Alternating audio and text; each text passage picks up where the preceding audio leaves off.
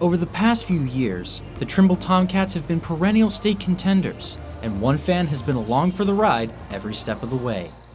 Kaylyn Hill, granddaughter of boys head coach Howie Caldwell, went to school at Eastern, yet attended as many Trimble games as possible.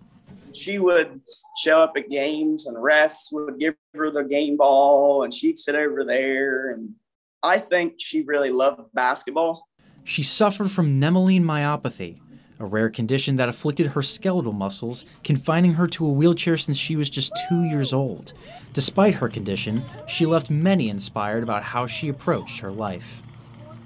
You took each day and cherished it. Uh, I never saw when it looked like she was having a bad day. Each milestone achieved by the Tomcats was cherished by Hill, as she had always loved when they cut down the nets. In fact, in her home, she would have each net that she had won. Uh, like I told the players after the game, uh, when we won that particular year, it would be on her pillow beside her. This past August, Kaylyn passed away, leaving a hole in the town of Glouster.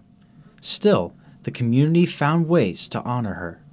There's a sign in the gymnasium that says the best seat in the house and loving and loving memory of Kaylyn Hill.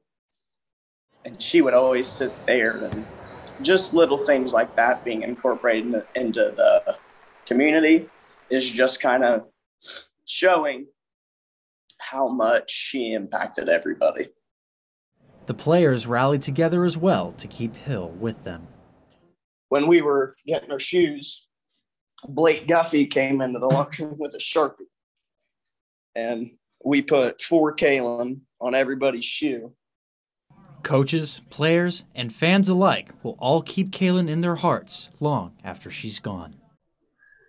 She was an inspiration to everybody that came in touch with her. Her legacy will live on.